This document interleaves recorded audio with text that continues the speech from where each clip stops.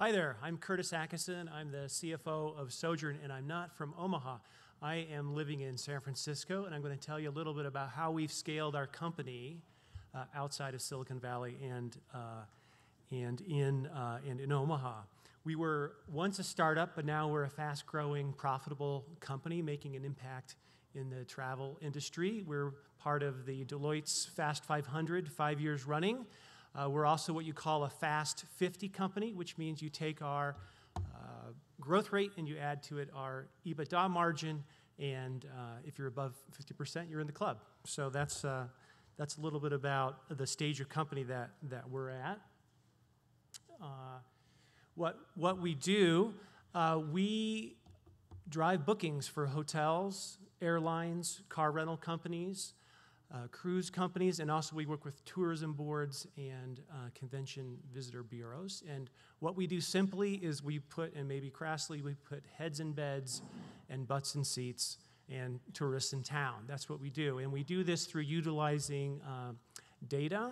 Uh, we have access to uh, a lot of anonymized traveler data, and we use that to target uh, potential travelers and travelers wherever they are on that path to purchase online.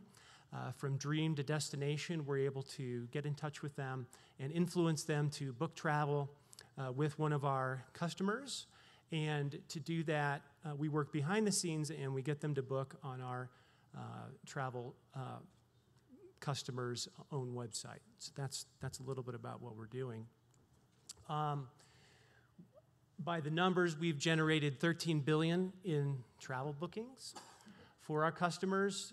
Uh, and we have about 6,000 clients, 400 employees. We have uh, a bunch of offices around the world in places where you see a lot of advertising companies in expensive cities.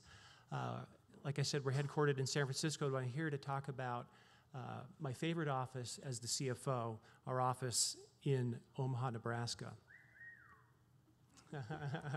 Good. Uh, so, the first, the first two items, why I love Nebraska, why I love Omaha, and why I, lo- why I love that office, the first two are no brainers for a CFO. We've heard it. Rents are cheaper, and so are salaries. It's pretty, pretty, pretty uh, good equation there. But if you are thinking about scaling a company outside of Silicon Valley, one of the worries you might have is how do I find the people with the right skills in the right quantities of people? And I wanted to give you the blueprint of how we have uh, solve this equation at, at Sojern. We, uh, we, we hire a lot of entry level, smart, very smart employees directly out of uh, college. We work very closely with the universities, we work with different clubs on campus, uh, and we're hiring people into our entry level jobs, which would be something like a campaign coordinator and, and we have a, a, number of very structured um, uh, opportunities to get promoted within that. And we do invest heavily in training.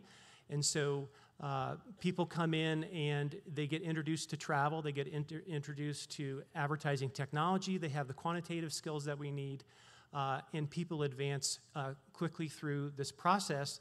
And I can tell you, after you know, pe- people are, this isn't, you know, babysitting, people are working, and we're getting the job we need done at an effective cost. And I can tell you, after 18 months, the account managers that we have in Omaha are better than the account managers we can hire with experience uh, in New York and San Francisco. It's really amazing, and it's a huge asset to our company. And I'll tell you what, all these, uh, the folks we have almost, uh, we're rounding up to 200 people in Omaha. We, they get exported. Um, we, we export all that talent to our other offices uh, around the world. And it's, uh, it's really a, a, virtuous cycle and something we're really excited about. Oh, I forgot, dang.